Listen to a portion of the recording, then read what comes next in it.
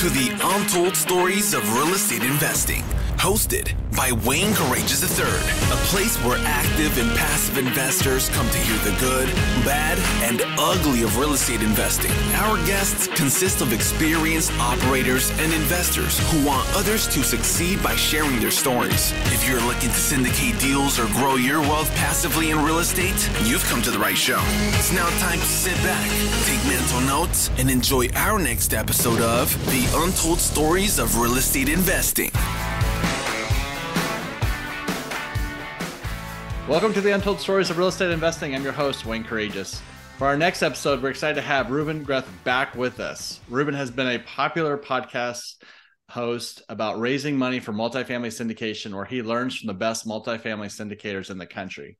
2019, Ruben partnered with a local syndicator on the acquisition of 190 units and has since become a fund manager who is building $48 million worth of subdivisions in Louisiana and Alabama and partnering with multiple select syndicators bringing equity, advisory, and investor management. Welcome to our show, Ruben. Thanks, brother. really excited to be back. I, am I, have you had more than one person come back and be a multiple guest? No, no, but I, am no, the am I the you're first? welcome Woo! every time because uh, one I already told you before this show, like you're just easy to talk to. The time time goes, and uh, you've got a lot of knowledge, and we're partners on one of these $48 million worth of subdivisions. Crest. Yeah. Uh, last, uh, you know, hey, people listening out there, relationships, partnerships matter. And when we connected through a mutual, mutual uh, friend through real estate, um, to, you know, so we got connected on a podcast last year. But, you know, we, as you, you know, as you know, but audience doesn't know, like we connected afterwards when we were able to partner on a, a deal and uh, outside yeah. Lafayette. So that's an exciting project that's going on right now. But so anyway, welcome to our show, Ruben. Welcome back. Thank you, thank you. What's been going on over this last year? I think last we recorded in October 21. So what have you been up to? So at the beginning of the year, I did a post of the top 10 shows of all time, and Richard Wilson was ranked like number five, and he didn't that didn't sit well with him. So he's like, Hey man, you know, like how do I get to number one? Like I'd like to buy your show, you know, at least a percentage of it, you know, what, what do you think it's worth? I'm like, well, Adam Adams, he just sold his show for, for I think like 50 grand. He's like, well, how about I, I, uh, pay $10,000 for 10% of your show? And I'm like, no, dude, you're going to buy 50% of my show and you're going to do all these other things for me. And I like, you know, forced his hand to do all these other things for me and now he's going to help me write a book. So we're in the process of co-authoring a book. That's a new development.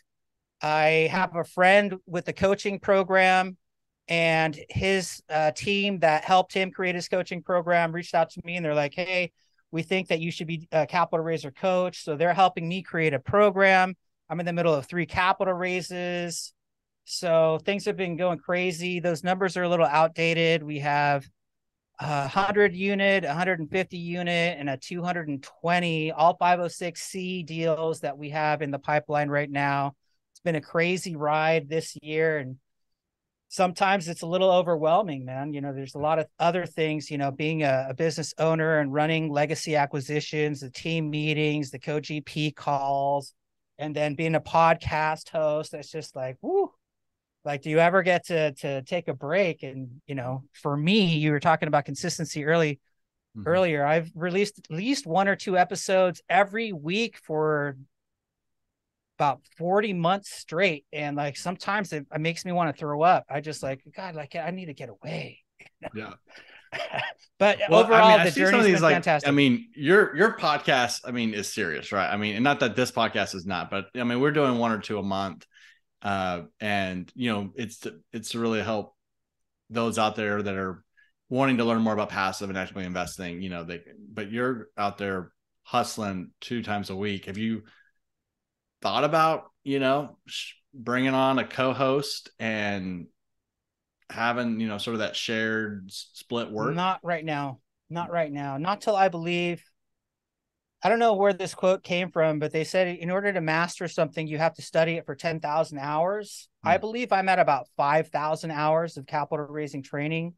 So once I get to 10,000 hours, I think I could potentially get somebody to take over the show because the whole idea, you know, I was talking to my my capital raising coaches, and they've been training a bunch of us on how to to raise capital, and they're like, "Hey, we're going to launch this thing called um, the Real Estate Accelerator 2.0 I'm like, "Well, what is it they're going to do in 2.0 that you haven't already taught people?"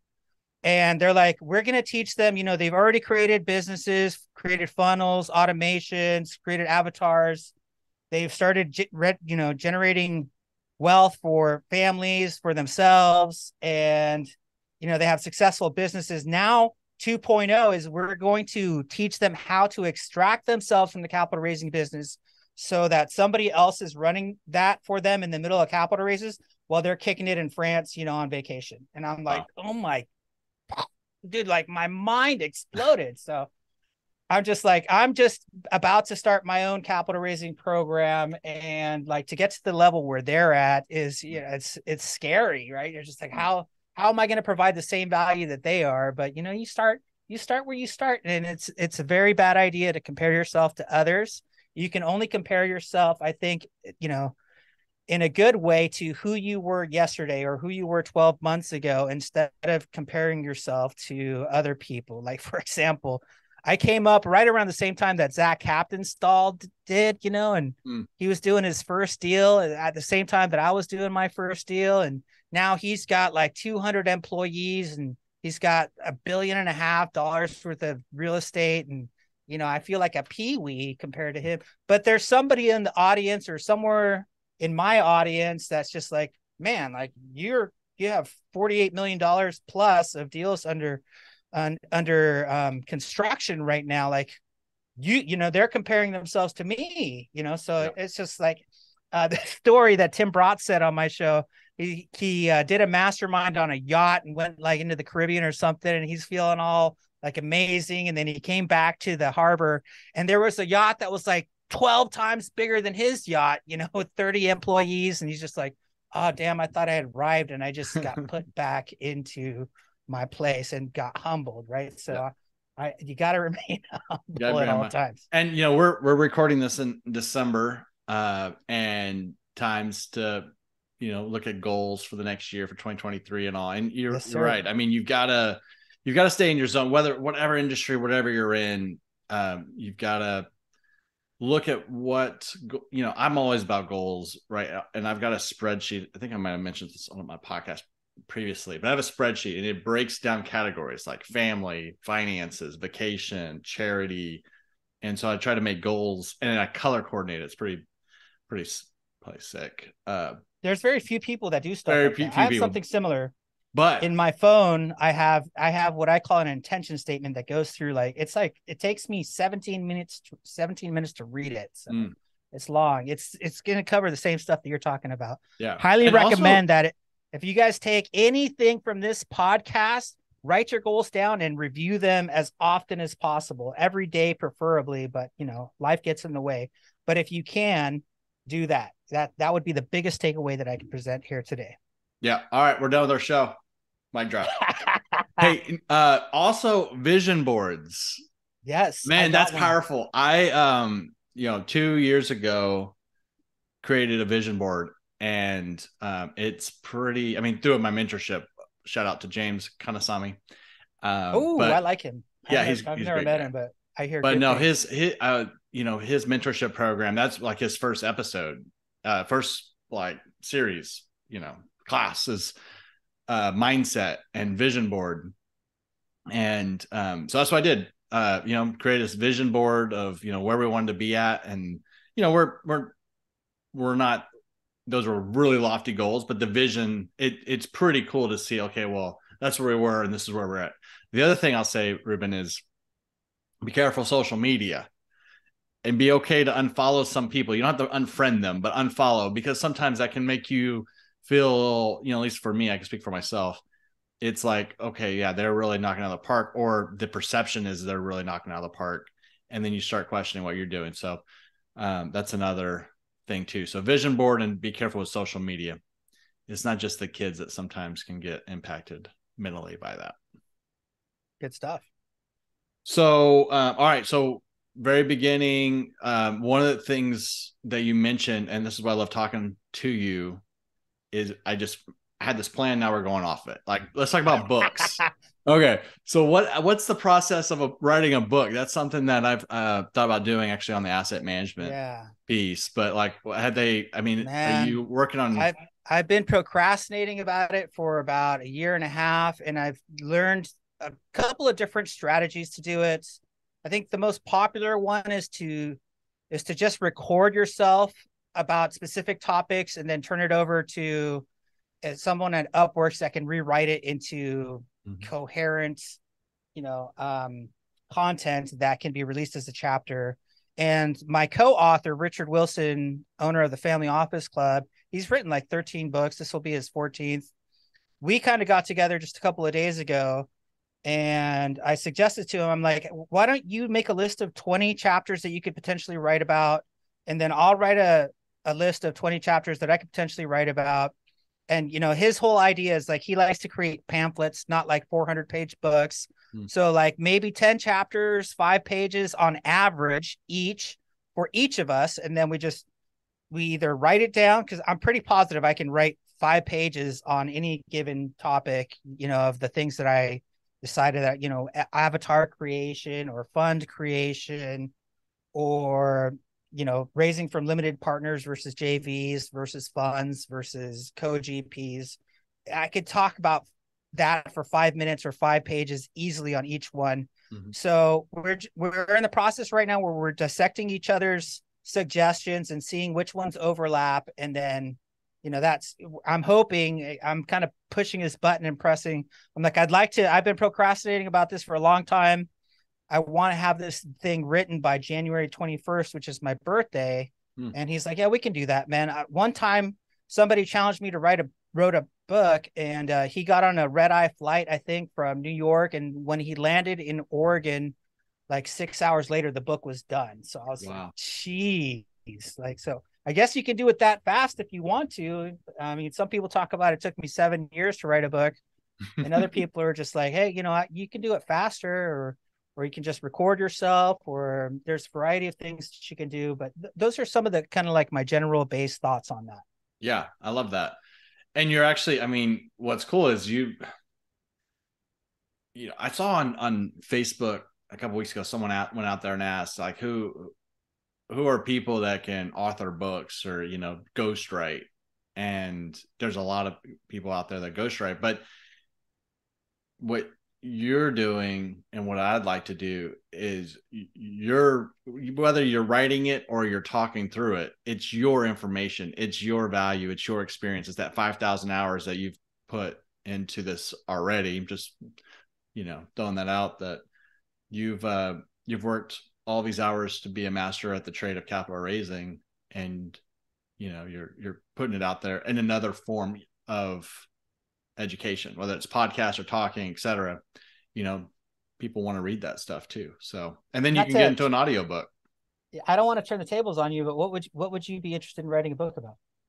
Oh, so one is straight up passive investing. I've got a, uh monthly a meetup that we do, and I'll bring in, and we've got over a thousand members that are part of our meetup, and we get a good thirty to fifty people per per meetup uh, virtually. But I'm very passionate about education. It's part of the reason why we do this podcast. You know, uh, is is to educate, and more so on the passive side, passive investors. So really trying to be as transparent and you know good bad and ugly of passive investing but the other thing is is, is asset management so how to Yeah. you know the, the hard the, for me the hard part because i'm very much of an introvert like even this podcast it, they're so hard for me to sometimes do these because i'm just very introverted and people who know me know that you know i rather watch the grass grow uh, than be around people. Like i'm that's why we live out in the country.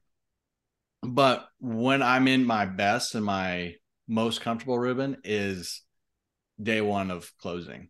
Because then it's like all about i've done that for the last 15 years. It's asset management it's day-to-day operations it's teamwork it's That's leadership a big it's adrenaline fun. rush.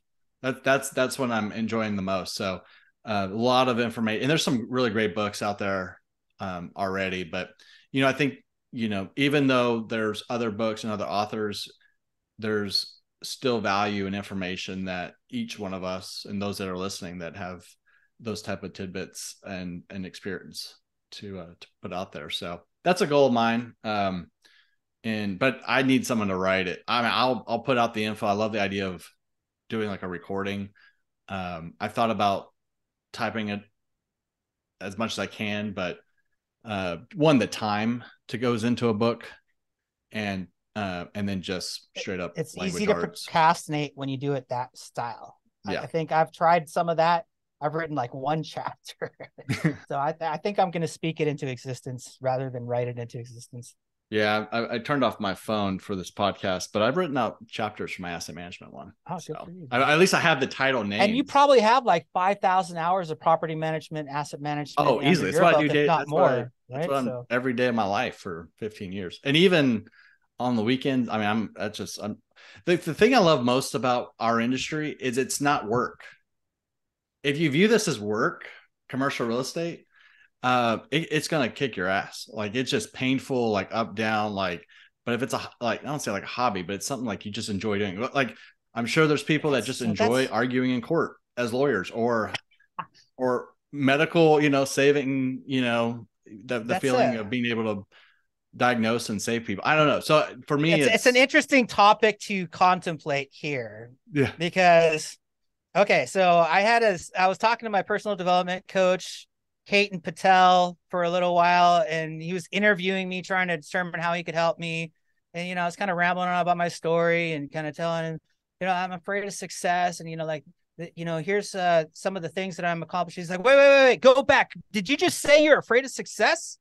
And I'm like, yeah. He's like, okay, so ex- you got to explain that to me. And I'm just like, well, you know, like I don't want to be trapped into a box where I feel, you know, like I have responsibility and I can't get away and you know, have to out hustle and outwork people. And like, that just makes me sick to my stomach. Like, I don't want to have to outwork the Logan Freemans of the world and, you know, these people that just work, work, work. And, you know, they, they're doing so much more than I ever want to do. No. And he's like, dude, you got this all wrong, brother. Slow down. What if I told you that there was a way for you to work less than you're currently working and make five to 10 times more than you're currently making and help a bunch of people along the way. And dude, I literally started crying because he redefined my definition of what success meant hmm. and made it feasible for me to get step step into this right so and i talked to here's what i wanted to bring up too is because i i talked to my wife and she's like she understands passive income and she tries to do network marketing but she always fails and it's because she doesn't love it. Hmm. like i would literally do the capital raiser show actually i do the capital raiser show for free. In fact i pay out of my own pocket to make it happen. I love it that much where i don't care if i make a dime because i'm so excited about the information and the potential for me to turn this information into you know the ability to help people and the ability to help myself and the ability to, to help my future family. And so I've been telling her, I'm just like, you have to find something that you absolutely love, or else you're never going to have success in it. And, mm. you know, maybe what you're talking about is when you absolutely love something, it's not work. But at the same time, I find myself doing all this crazy stuff like running myself silly, even though I know I shouldn't be working as hard as I'm working I find myself working myself to the point of exhaustion on a regular basis. And like, I just sometimes I need to figure out a way to just take a break. Like maybe I should shut down the Capital Raiser show for two weeks, or at least figure out a way to automate it while I'm on vacation somewhere else. Eh, it wouldn't be that complicated. I've actually done it before, but you know, this this is what we're talking about when when we talk about working smart or creating systems versus hustling and burning yourself out. So I'm mm-hmm. still trying to learn these concepts and I'm not a master of it. That's why I say I'm not done doing the capital raiser show because I'm not the master of extracting myself from the business quite yet. Yeah. But, you know, loving what you do is a big part of having success in life, I think. Yeah, and I think with the amount of things that happen just on just to find a deal close the deal, execute the deal, and then you know at some point down the road you're trying to sell the deal and then you've got other investors, other deals that you're working on. It's a lot. I mean, we CREI partners, we've grown our staff, and we did so in a way where you know, uh, you know, part-time employees. It started with somebody who left the W two world, and I was like, "Hey, can I just have ten hours of your time?" Now, this is somebody I've worked with, I trust, and she's just blown it out of the park with our investor relations and just, you know, helping helping that uh, brand and investor relations piece. And then um, she happens to be a twin, so like a few months ago, her we brought her sister on board, and then they like are like together like this one perfect brand investor p- person because they do a lot of the back of the house uh you know marketing efforts through our youtube and seo and uh, all that good stuff. And then we've got a guy uh, carlos who um, is out, out of el salvador and he's helping us find deals and you know making calls and you know this podcast that we're on right now. Like he will be editing this podcast and put it on. And and we've just we've really you know you talk about time. There's only so much time where you, anybody has right and so shutting it down and uh, saying all right the next two weeks or i'm or i'm gonna do a time slot ruben where we're gonna knock out three podcast shows and that gives you or gives us the ability to take off the next couple of weeks you know that's what's got to be done so sometimes it gets to a point where you we all have to add to our team which adds more hours to your business uh, even though there's some expense there for sure, but um, it sets Ooh, it up for how. future growth. So, uh, so we'll see what 2023 brings. It's, it's super exciting. Uh, what what 2023 goals? What do you what do you got going on for next year? Survive. Other than the book, we got the book. We got the book, the capital raising program. We got three deals. So, like for me, like I've never developed anything. We got, you know, a 16 million dollar hundred unit, uh, 32 million dollar um 158 and another 220 that we're about to take on. And i'm like oh my god this is so much. Like you know you realize how much mm-hmm. capital we're gonna have to raise for this? And my partner andy is just like yeah let's take on some more projects. And i'm just like trying to hold on for my dear life. And he's like no we're we're in scale mode brother. You know so i love it. It's uh, i just try i'm just trying to hang on on this roller coaster you know while i'm doing all these other crazy things and see if mm-hmm. i can muster up the ability to continue to capital raise and and manage the business and manage people manage co-gps and yeah. take care of the house and all the other good stuff in life and hopefully take some vacations and yeah.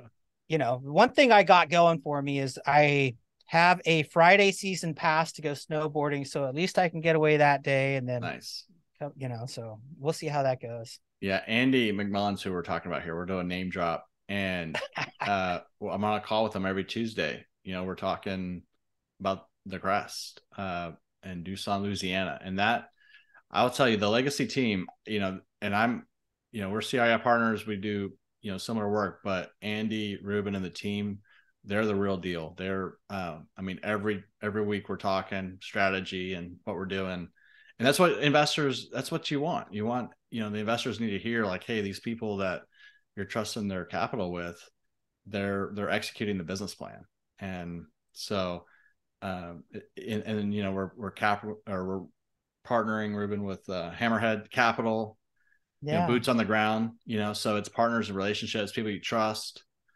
Um, but you know, circling to this build to rent, because I mean, you do have a lot of projects that you are pushing out, and it's a it is a lot, especially in today's market of, you know, everything else with the financial markets are tightening up, and people are definitely being more mindful of how they're investing. So how you know, let's talk about build to rent, capital investing. What's the what's your pitch on that when you're talking to investors and you know getting them comfortable uh, yeah. Uh, with with the build to rent.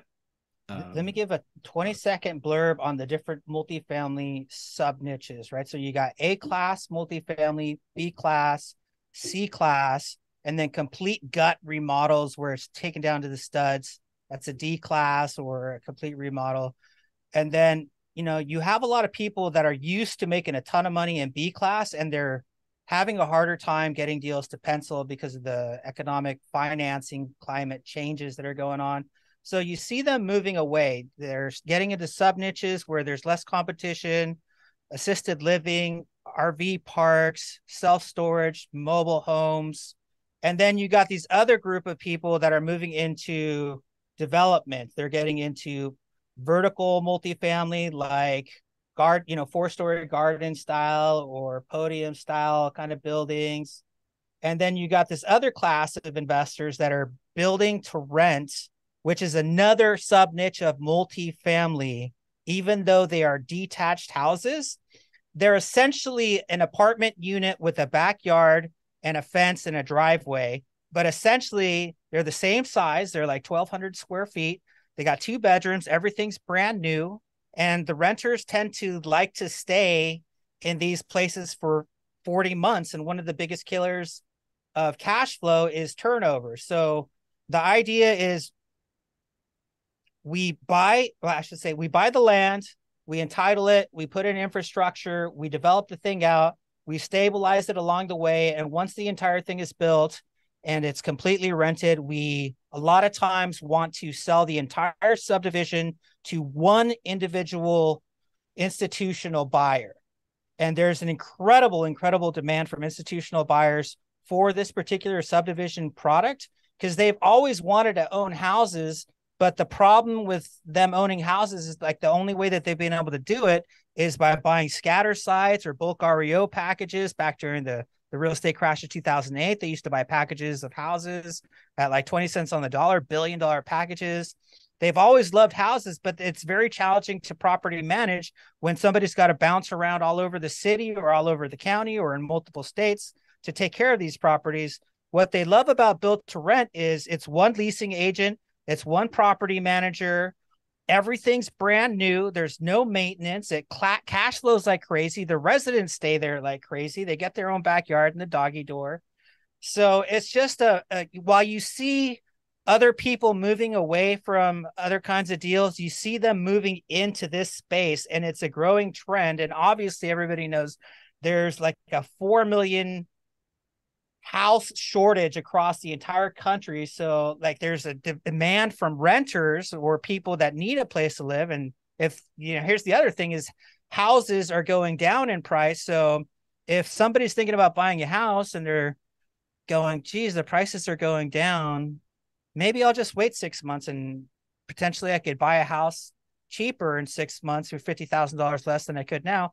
But I don't want to live in an apartment where there's somebody across from me, below me, above me, and on the left and right of me. And I you know, I'm on the second story with a little balcony.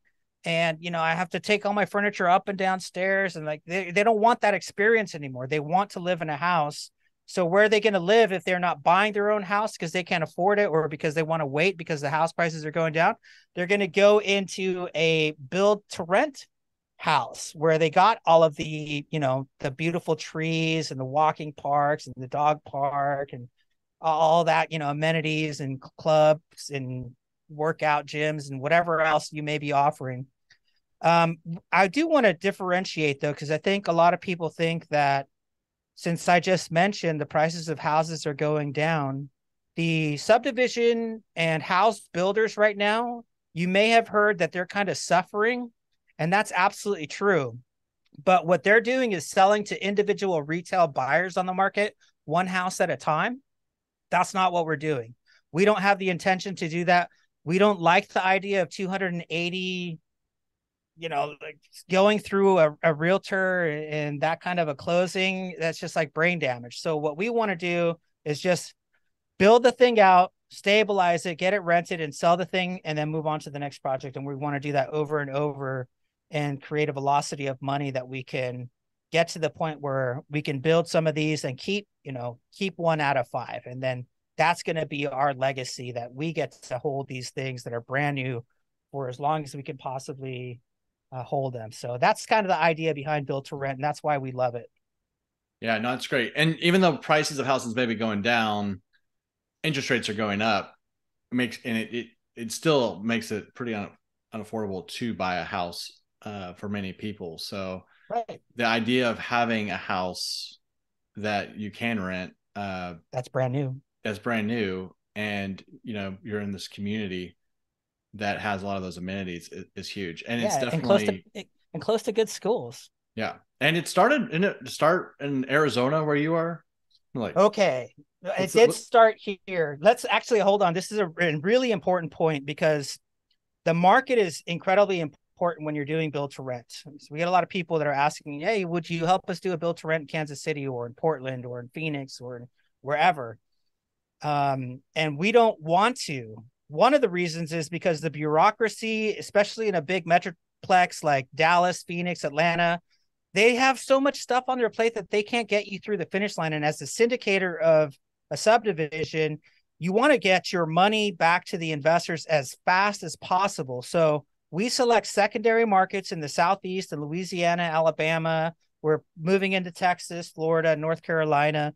But for now in Louisiana and Alabama, we're going to pro growth cities, cities that want to provide their their citizens with affordable housing. And so they'll help you get across the finish line extremely quickly which benefits us as syndicators because that means that we can get our investor capital back to the LPs very quickly. And on top of that we mitigate some of the risk of development because we don't even start syndicating any deals until we've identified the property put engineering in place put in the infrastructure and once it's shovel ready with utilities, electric, roads, all of the you know the uh the slabs of concrete are in place and the plumbing is in place. At that point is when we syndicate. So Mm. from there to the point that we finish the houses, it's like 24 to 36 months maximum. yeah. So, you know, by that These point, houses go up, you know, six to eight. You know, you start six six to eight at a time, yeah, and so over a you know a year, maybe more than that, depending on the maybe project. more. Yeah. So um, if weather weather allow, Mhm. it's sometimes you know it rain.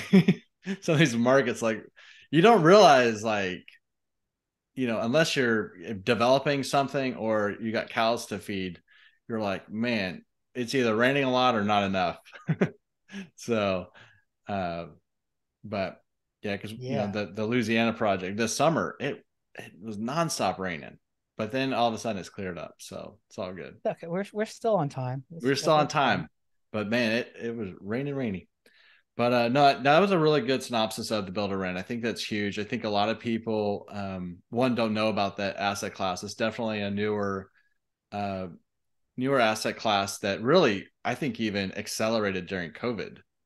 You know, a lot of these people. I mean, if I had a choice between an apartment or a house, you know, when I was in in the renter stage, you know, all day, every day would be a house. You know, um, so yeah, and it, and if you're an LP, I think a lot of LPs they want to imagine themselves living in the place that they're investing in. Mhm. And if they're buying C class kind of dungy stuff with like old 70s carpets and stuff in it, it's hard for them to imagine living in it. But if you see pictures of the stuff that Derek Alexandrenko's building Mhm. with like crown molding and concrete stained floors, luxury faucets, and they- they're just incredibly beautiful with industrial fans. And it's just one of the most beautiful things. And not to mention it's brand new. So um if we start implementing some technology and some usb ports right into the outlets and you know some like um maybe some cameras or some automatic you know enter the house with your smartphone and turn the air conditioner off with your smartphone stuff like that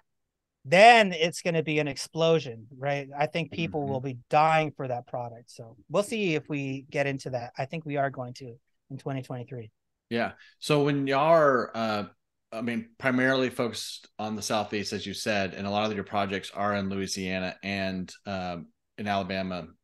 So when we're looking for multifamily, as most you know investors are, it's location, location, location, job growth, Yeah. demographic, you know, demographic when it comes to income, et cetera. So are, are y'all going through the same checkbox uh, with your markets or what's It- the it's some it's all that? of that stuff plus we want pro growth cities Hmm. and then we want you know we're also considering and contemplating what is the land like is it flat or is it you know, mountainous or do we have to grade it? Is there a Mm. bunch of trees that we have to remove? Is there a lot of extra stuff that we have to do?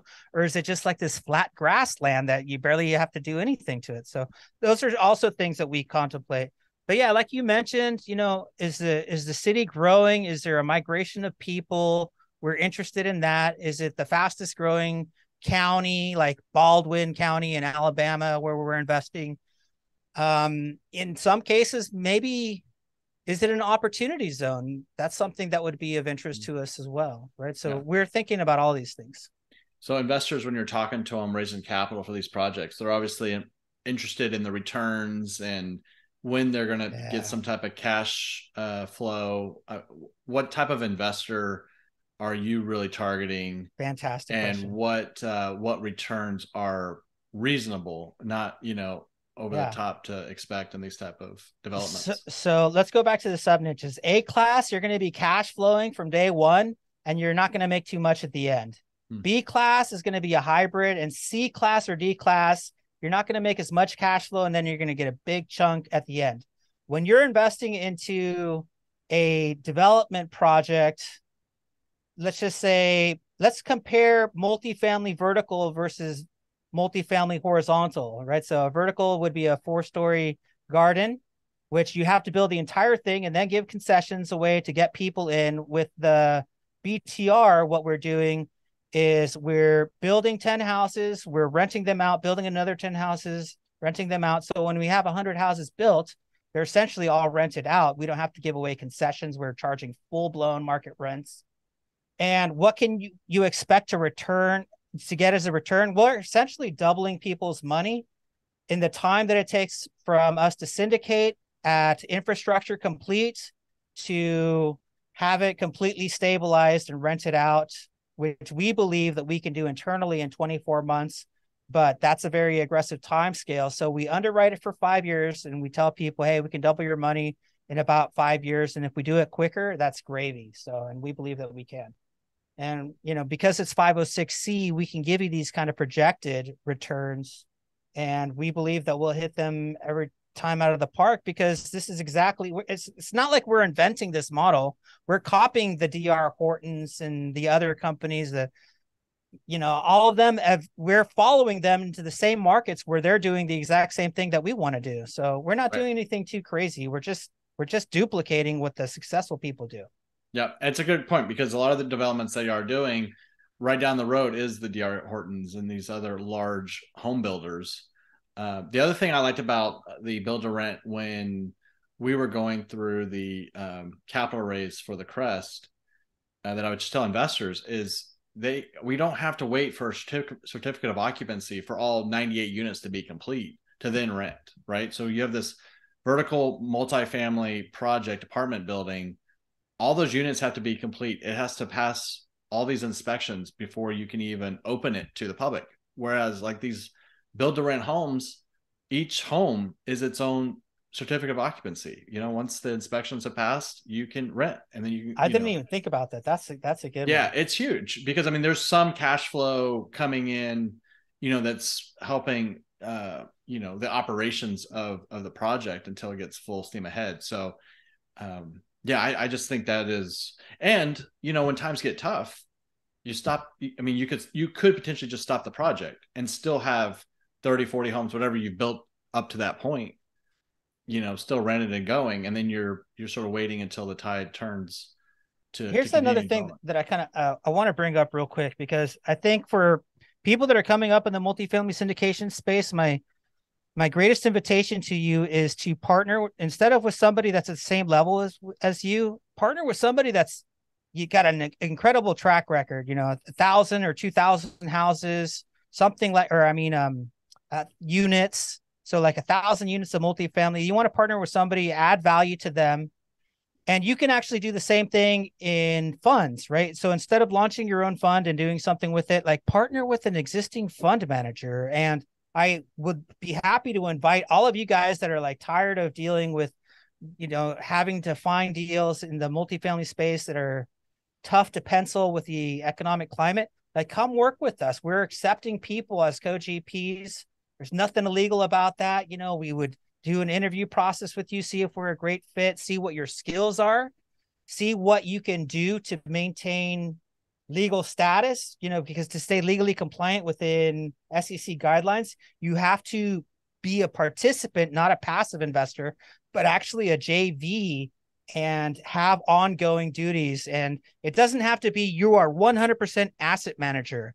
Like we can take this matrix and be like, oh, you know, Wayne's going to do 80% of the management and then you can help him with some of the the back office stuff, you know, that he needs help with. And oh, are you good at marketing? We need help with that. Oh, and you have board of advisory skills. Oh, and you can get a discount on materials and whatever your skill set is, if you do like 10 or 20 or 30 or 40%, we have you fill out this matrix and then we hand this over to our lawyer and then he says basically this dude's going to be legally compliant as long as he does the things that he says he's going to do over the duration of the entire project. And that's how we can help you come in as a co-gp that not only brings equity and your other skill sets but that participates. Or we can also contemplate doing like a fund structure or a fund to fund. So if you guys are interested in build to rent you know, I talk to either Wayne or myself. I mean, we're both here to answer questions. We both are passionate about this. Obviously, I could talk about this and capital raising for like the next 24 hours nonstop until my voice dies. But you know, this is just a it's a really fun business. It's very lucrative not only for the LPs, but for the capital raisers, for the GPs, for the general contractors, for everybody involved. Yeah, I mean, really the build to rent didn't even get on my radar until you and I connected last year.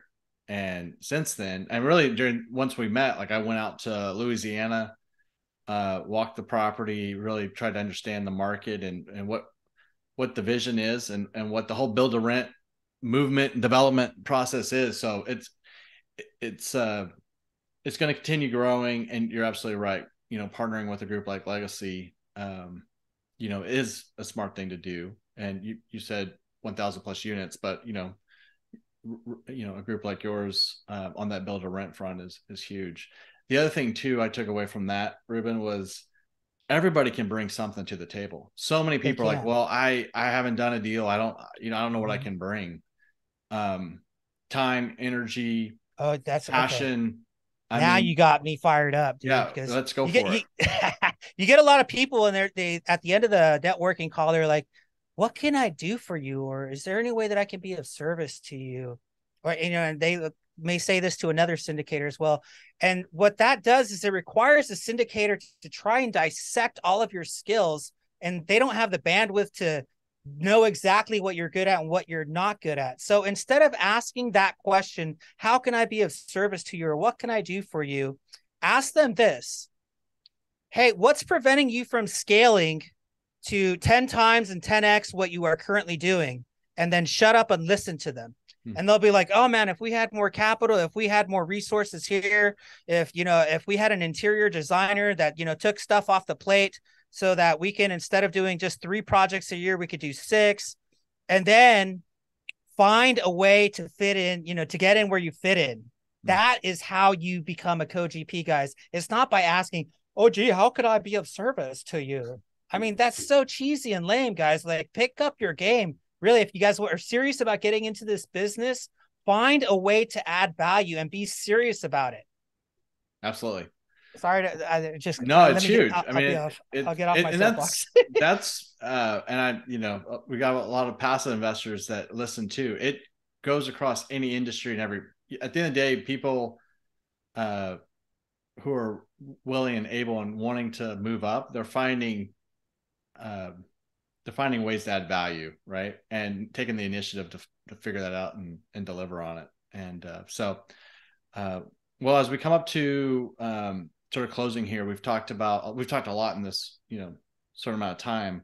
Any more on the build to rent, uh, capital raising, anything you want to, uh, top of mind that you want to close up with? And then I always ask the question, yeah, yeah. you answered it last year, is what's your proudest moment? And maybe we'll just do it for those past 2022. What's your proudest moment of 2022?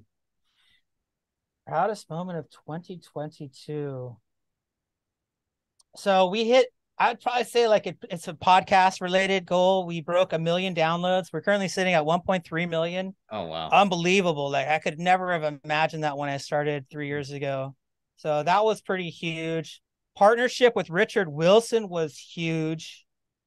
Uh, yeah, I would say that those are two my two biggest deals, right? Like when you're associated with like a somebody that's got a billionaire club and a family office club, and he will he specifically targets you, and then allows you to twist his arm to become a greater business part than he originally intended to.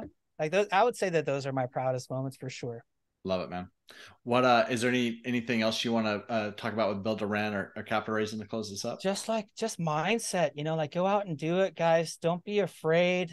Don't let your limiting beliefs prevent you from doing what you if you I mean, especially if there's a calling from inside your gut that's telling you I need to step up my game and self-actualize, then get off of that analysis paralysis thing that you've been doing and take some action. And that's how you break through your limiting beliefs. I'll end it off with that. Love it. All right. So how can people find you? You can go to the capitalraisershow.com, legacyacquisitions.com to find out either about how capital raising or our build to rent projects. Or if you just want to hang out, like find me on LinkedIn. I do a lot of, you know, business, personal development kind of posts on there. I'm really into peak performance and that kind of thing. So follow my content or engage with me via LinkedIn Messenger. Ruben right, Greth. Well, thanks for being on our show, and uh, obviously we'll we'll keep staying in touch. Have a good one, man. Peace. That's all for this episode. We hope you subscribe, share, and leave a review of the show. For more information about passively investing in multifamily apartments, check out Wayne's free ebook by going to creipartners.com forward slash ebook. Also, follow us on Facebook by searching CREI Partners. This was the Untold Stories of Real Estate Investing.